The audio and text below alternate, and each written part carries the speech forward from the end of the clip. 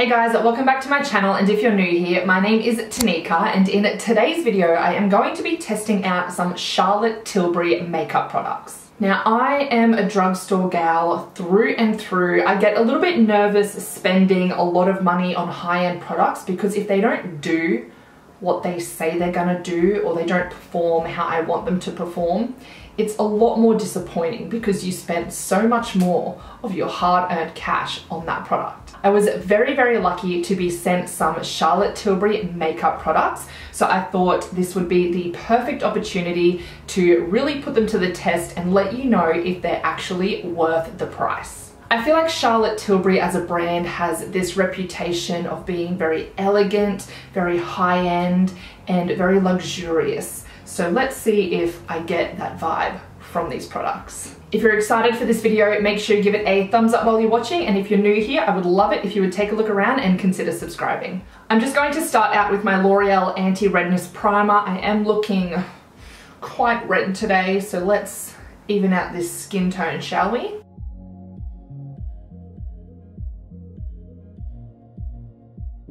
Then I'm just going to take my NARS Soft Matte Complete Concealer and cover up some of these blemishes. So first up from Charlotte Tilbury, I have the Magic Foundation in the shade One Fair.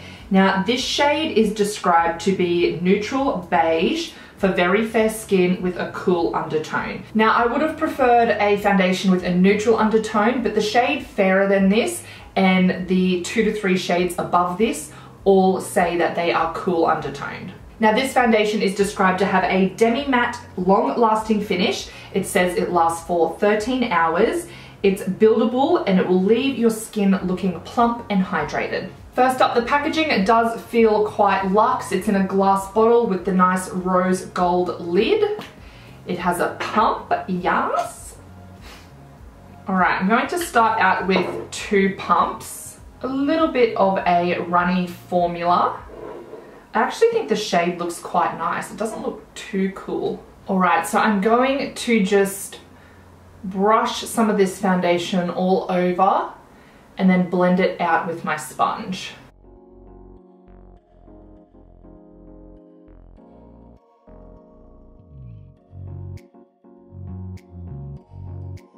Okay, blending out that layer, that is absolutely light coverage. I can still see everything. Did it say full coverage? I'm pretty sure it said it was full coverage.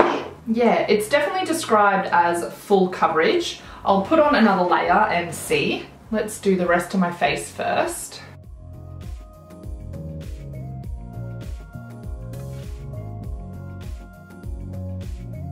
Okay, so I have used all of those two pumps. Definitely light coverage. I can still see everything. Like I, I don't mind it, but it says it's full coverage. It is clinging to some of my pimples on my chin. See here, oh, oh, oopsie. See here and this big one here. I'll go in with another layer and see how well it builds up. Now this foundation does retail for 65 Australian dollars and it comes in 20 shades.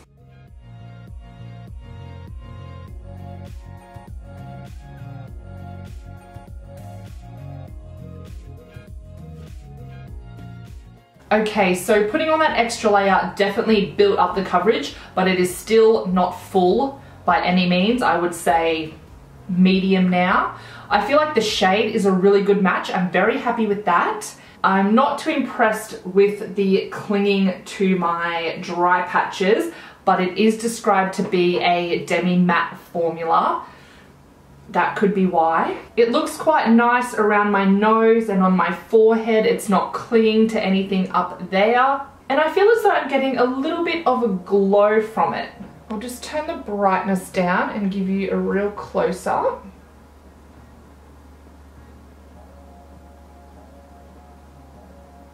Do you know what foundation it's reminding me of? This is my Kmart $6 foundation. Charlotte Tilbury $65 foundation.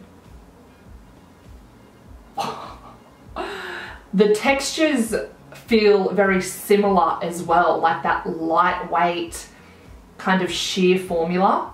I'm tripping out. And then when you put the lids on, I know where Kmart got their inspiration. I'm going to go in with my normal concealer and powder routine. I'll be using my e.l.f. Hydrating Camo Concealer and then my Models Prefer Mineral Finishing Veil Powder. I'll also go in with a little bit of the CoverGirl Clean Fresh Powder. Okay, so things are looking better now that I've put powder on. I also put a little bit of that e.l.f. concealer over my blemishes on my chin because it is a hydrating formula and it has made them look so much better. I feel like the coverage I have now is that medium to full, but the foundation on its own is definitely not a full coverage. Now I have gone ahead and put some of my Becca bronzer on. Look at this. Like, I'm nearly done. This bronzer is worth every single cent. It is amazing and I've already got a backup. But back to Charlotte Tilbury, I'll be going in with the Cheek to Chic blush in the shade Love Glow.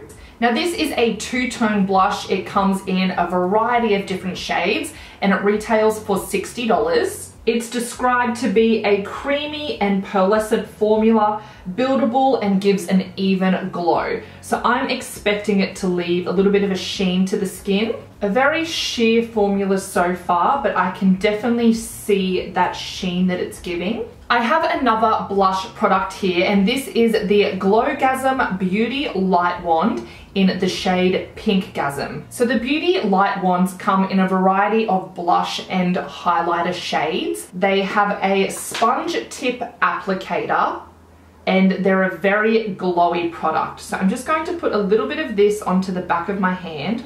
Okay, I said a little bit and then look how bloody much I put. All right, I'm just going to spread it out on my hand with the applicator. So this is the shade here, a bit deeper than the powder blush, and it actually looks very pigmented. So I think I'm just going to go in with the bum of my sponge, tap a little bit on there, and I think this is a very glowy product. So that's what it looks like sheared out. Look at that sheen. So I'm just going to very strategically place this maybe up the top of my cheeks here so it's not down here making my texture look, mm-hmm, mm-hmm, you know.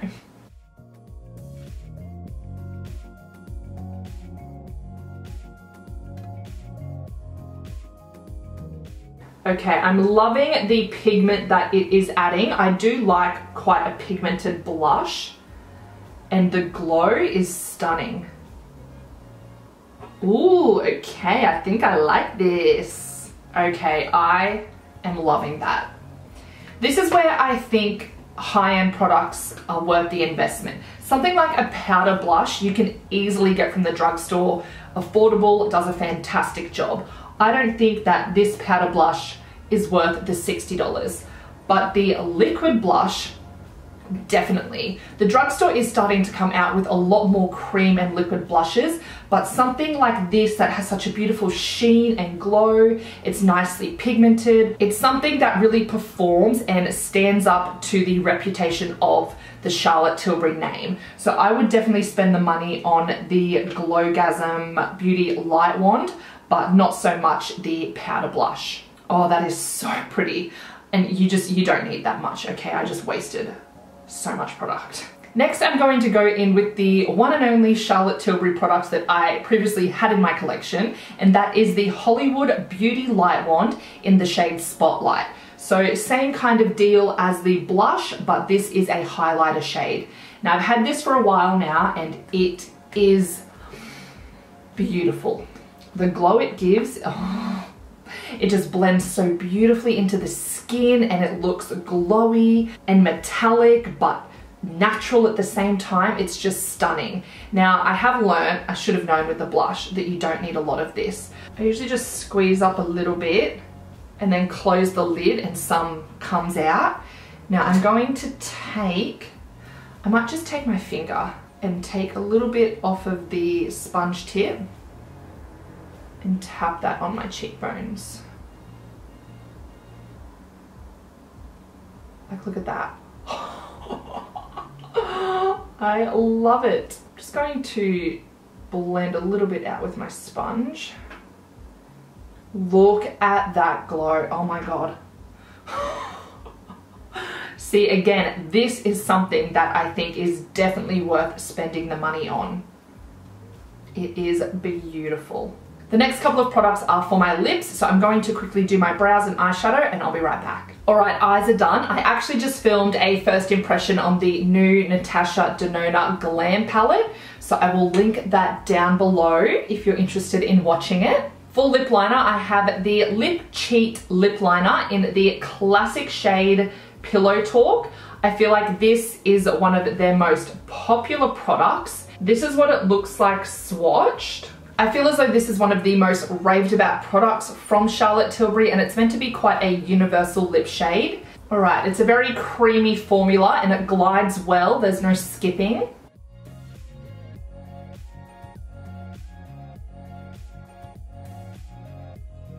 Alright, so I really like the shade of it. It feels nice on the lips. It's described to be waterproof and long lasting. I think it says up to six hours of wear. Is it any different from, say, a Rimmel lip liner? Hmm, We'll have to wait and see. For lipsticks, I have two shades from the Kissing collection.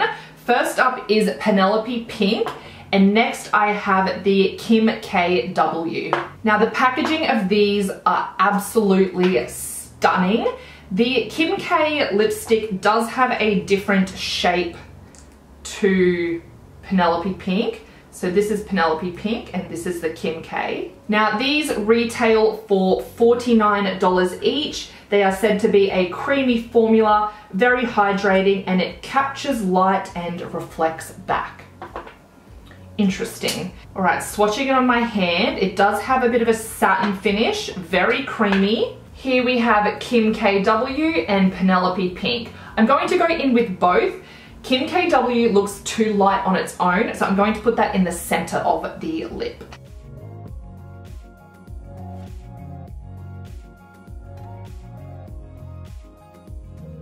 Oh my, that is an absolutely beautiful formula. It's more of a peachy nude as opposed to a pink.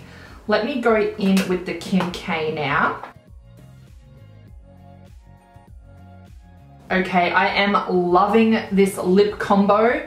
You could definitely find these shades in a cheaper option, but I think there's something really luxurious feeling about having a lipstick like this. It is just so beautiful. I would say that these are worth the money if you want to splurge.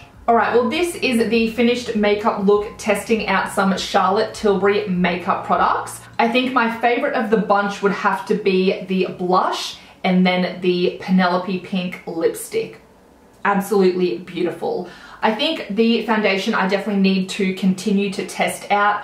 I wasn't very impressed with how it clung to my dry patches or that the coverage was not full when it's described to be full. Whenever I look at purchasing a product from a very luxe high-end brand, I always do a lot of research to make sure that I am going to really enjoy this product. So I hope that my little first impressions and reviews helped you out today. If you have any Charlotte Tilbury makeup products that you love or any ones that didn't quite work out for you, I would love it if you would leave a comment down below so everyone can have a read. I wouldn't actually mind trying some of their eyeshadow palettes, maybe the little four quads. I know Jessica Braun here on YouTube absolutely loves one of the quads. I can't quite remember which one, but she raves about it. Alright, well if you enjoyed watching, please give this video a thumbs up and if you're new here, I would love it if you would subscribe. I hope you are all having a fabulous day and I'll see you in the next one. Bye!